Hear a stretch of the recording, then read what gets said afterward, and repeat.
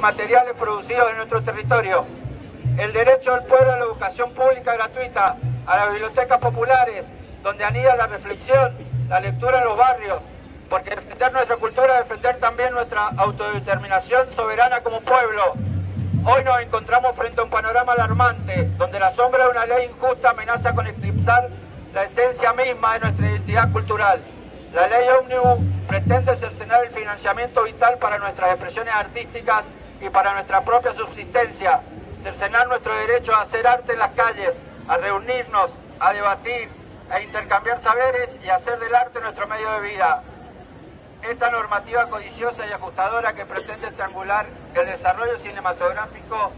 cerrar las puertas del Instituto Nacional del Teatro y alterar el pulso creativo del Instituto Nacional de la Música en un intento por dirigir el arte y la cultura hacia un funcionamiento mercantil que, como sabemos, beneficiaría solo a un puñado de grandes empresarios. Esta ley propone una suerte de exilio para el cine y sus creadores,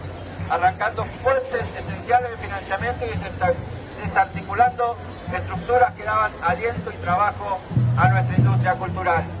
No satisfechos, se avanza hacia la derogación de leyes que protegen y estimulan el teatro, la música y las artes en general, desviando recursos y atando las manos de aquellos que dan vida al lienzo de la expresión.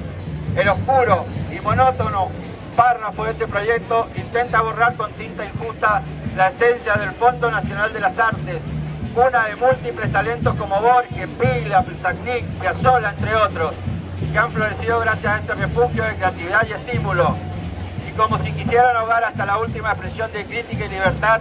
esta ley apunta directamente a la literatura, deshaciendo el marco que protege el precio justo de los libros, una medida que afecta a pequeñas librerías y editoriales independientes y mutila a la diversidad y profesionalización que con tanto esfuerzo hemos logrado. En este crisol de lucha, bronca y organización, no podemos permitir que la pluma la injusticia borre los logros que con tanto sacrificio hemos elegido.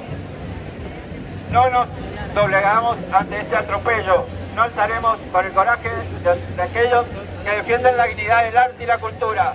Sabemos además que tanto el DNU como la ley Omnibus no solo avasallan al mundo de la cultura, sino la clase trabajadora en su conjunto, cercenando derechos fundamentales como el derecho a manifestación y huelga,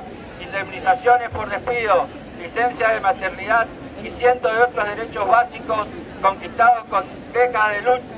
y todo en beneficio de grandes grupos económicos de siempre.